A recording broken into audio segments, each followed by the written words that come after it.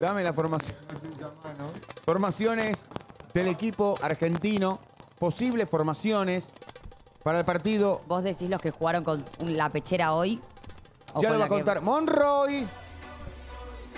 El equipo Ahí titular. Hola Sebastián, hola a todos, ¿cómo andan? Aquí estamos del lado de afuera de la universidad, esperando que finalice el entrenamiento, un entrenamiento que como vos bien llevabas calma respecto de la situación de Messi. Messi se conoce más que nadie, me decían, y no corre riesgo, está regulando, va a buscar su mejor puesta a punto para el debut. El otro que no se entrenó fue Lisandro Martínez, con unas líneas de fiebre, pero nada para preocuparse los 26 a disposición por primera vez. Hoy el equipo recibió una charla instructiva de los árbitros de la FIFA para ir conociendo todas las nuevas metodologías y, por ejemplo, le comunicaron que Scaloni va a poder llevar, como el resto de los seleccionados, los 15 restantes que completan los 26 al banco. Va a tener a todos a disposición en la nueva regla, ya no 12, sino 15. Pensando en el partido, para mí el equipo va tomando forma con Molina, va tomando forma con Acuña, que le saca ventaja a Tagliafico, y va tomando forma con Alexis, que le sacaba ventaja a Papu.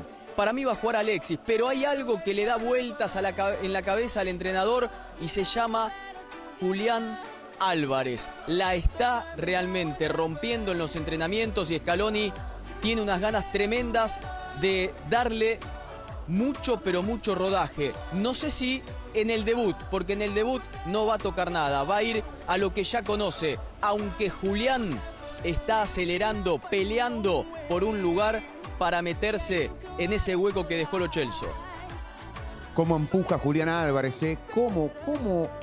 Se transformó en el jugador número 12. Qué bárbaro, qué, qué, qué, qué explosión ha tenido Julián Álvarez, cómo se ha metido en el City peleándola de manera notable, un Guardiola que se deshizo en elogios, Eh, qué evolución ha tenido un chico que lleva todo de manera tan natural, eh, tan porque es un inconsciente consciente. O sea, Julián eh, da la sensación que eh, asimila las cosas tan importantes que le están pasando con mucha naturalidad. Me ha pasado charlándolo. Nada, vos lo ves y el tipo te responde como si estuviese en Córdoba, estuviese en River. En Calchín. Y, y le, pas- y le pasas Haaland por al lado, o sea, y tiene como técnico a Guardiola. Eh, un Este pibe me parece. vivazo, ¿eh? Este me parece. ¿Te gusta este equipo? Me parece mejor parado que el otro que ponían a Messi por izquierda. Ah, muy bueno. Eh, Sí, o sea, igual, igual. Bueno, no me diga Los igual. jugadores se mueven. No, no, se Claro. mueven, no. No, me ahí. diga igual. Y sí, Porque quedan vos ves a esto y decís, bueno, sí, perfecto, está bien. Los dos en el medio, Messi suelto por adelante de los dos, Di María por derecha, Julián un poquito más por izquierda y Lautaro eh, de punta. Julián el jugó- otro estaba Messi por muy por el, o sea, el 4-3-3 Messi muy Pero por siempre juega libre, Oscar, Sí, aún cuando juega Yo lo veo Alexis. Pero, coincido, coincido con vos. ¿eh? Ojo que Julián, Julián ha jugado en River, Sí, claro. ha jugado sobre la banda y en el City, cuando juega, cuando comparte cancha con Haaland, juega más referido también a un No. costado, ¿eh? Digamos, yo con lo cual, decía- con lo yo cual decía- podría tener eso como punto de partida. No, yo decía porque, por ejemplo, poneme eh, el otro equipo, UG. ¿Cuál querés? El ¿Cuál? primero. El primero que pusieron. Este ya está. Más o menos bien paraditos, más. ¿Ves? Vos lo ves así, vos lo ves así, decís. Y Messi es extraño verlo ahí. Messi de enganche y de delantero. Después sí, se- después Messi va para todos de lados. todas maneras, se va a la soltar. posición inicial es un punto de partida. Pero Ahora- Messi, Messi, lo mejor de Messi es donde está De Paul. Con Di María, que se pegan ahí, se empiezan a juntar los dos. Totalmente. Ahora vos fíjate, paredes, le Oscar, meten hay, pelota. hay otra cosa que recién nos decía Diego, que en realidad por momento futbolístico individual y por crecimiento en los últimos años, los dos en la Premier, los que disputan el puesto, más allá de que Papu fue en su momento el suplente natural o el reemplazante natural Y de que los entró- Chelsea, y que son entraba muy Alexis bien. Y Julián.